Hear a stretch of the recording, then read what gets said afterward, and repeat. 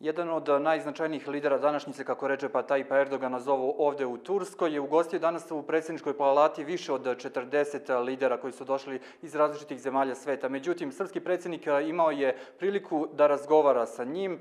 Predsjedniče Vučiću, nakon ove ceremonije svečanosti povodom inauguracije prvog čoveka Turske, imali ste priliku da razgovarate sa njim. O čemu je bilo reči?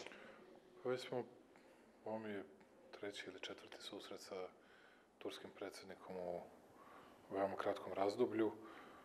Došao sam pre svega da ukažem u ime Srbije čast i poštovanje Turskoj državi i turskom predsjedniku, da kažem da imamo mnogo toga da uradimo i ono što mi je rekao Recep Tayyip Erdogan to je da uz veoma srdačan prijem koji je priredio delegacije Srbije, to je da mnogo toga imamo da uradimo u budućnosti, da je mnogo toga pred nama sa čim sam saglasan, Mnogo planova imamo, mnogo zajedničkih stvari da rešavamo koje se tiču i ekonomije i politike i važno je, mislim da smo, iako to ponekad nije sasvim lako, da smo bili prisutni ovde i da smo na svaki način ukazali respekt i turskom narodu, i turskoj državi, i turskom predsedniku. Očekujem da našu saradnju dalje unapređujemo, očekujem da uskoro u Srbiji ponovo vidimo turskog predsednika i mislim da je to veoma važno za budućnost Srbije i važno da imamo tako snažnog, tako jakog regionalnog partnera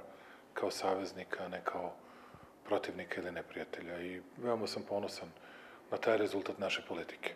Ovde sam mogao da razgovaram, imao sam pravi bilateralni sastanak sa Viktorom Orbanom, mađarskim predsednikom. Šta su bile teme tog razgovora?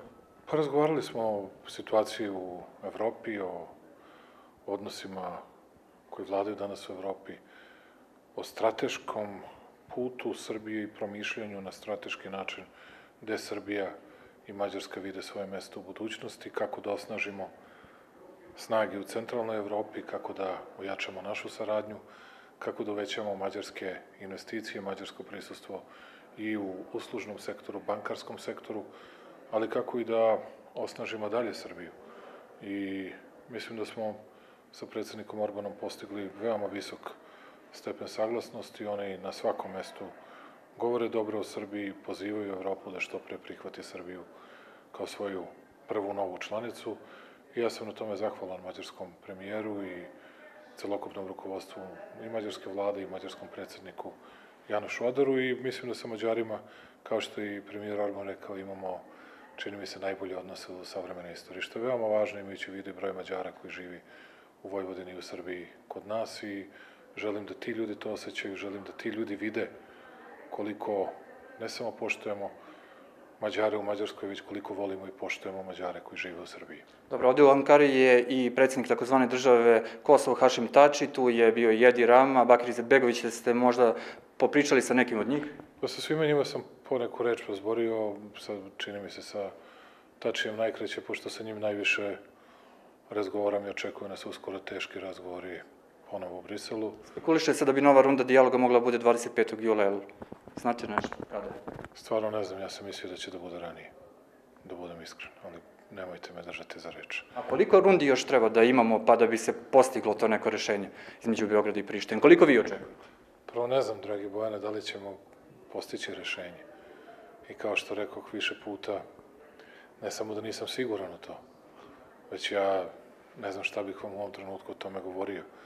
Ali ono u što sam siguran, to je da ćemo da se borimo za rešenje, da ćemo da pokušamo da uradimo sve što je najbolje. I razgovarao sam i sa Edijem Ramom i sa Bakerom Izadbegovićem, razgovarao sam i sa Đorčem Ivanovem, predsednikom Makedonije, razgovarao sam sa predsednikom Bugarske Rumenom Radevim, a, sa mnogim drugim ljudima sam razgovarao. da je to bila tema. Gabona, dakle, sa mnogim ljudima sam razgovarao i očekujem da dobre su, dobro su ove prilike gde uvijek možete nešto za svoje zemlje da napravite. Sa nemačkom kancelarkom Angelom Merkel ste takođe imali telefonski razgovor, Beograd i Priština takođe jedna od tema razgovora, ali se malo menja stav kod tih velikih svetskih lidera.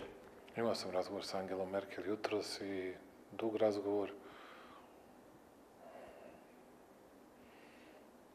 Razumeo sam i šta su i zahtevi i pitanje gospođe Merkel, a čini mi se da sam imao priliku da objasnim i koja je srpska po- pozicija i po pitanju Kosova i Metohije i po nekim drugim veoma važnim pitanjima. Zahvalio sam se i za sve veći broj nemačkih investitora koji dolaze u našu zemlju. Razgovarali smo i o mnogim drugim pitanjima, pitanjima odnosa prema prošlosti, razgovarali smo i o evropskim važnim pitanjima, pojedinim normama i pravilima koje moramo da dosegnemo u smislu i spoljne politike i prevelike otvorenosti ili prema nedovoljne otvorenosti prema pojedinim zemljama, da neko ne pomisli odmah da se pričalo o ne znam kakvim temama koje bi njima bile drage. A što Amerikanci kažu o odnosu Beograda i Prištine? Imali ste sastanak danas u Beogradu sa Pitom Marokom, visokim zvaničkom Pa ja sam zahvalan Amerikancima, ako to smem da kažem na takav način, što mi se čini da po prvi put od kad je Trumpova administracija uspostavljena, dakle da oni žele da nas čuju. Ne kažem da su nam saveznici po pitanju Kosova, ne kažem da je to lako, oni imaju drugačiji pogled na Kosovo, ali ako to smem da kažem, žele da nas čuju.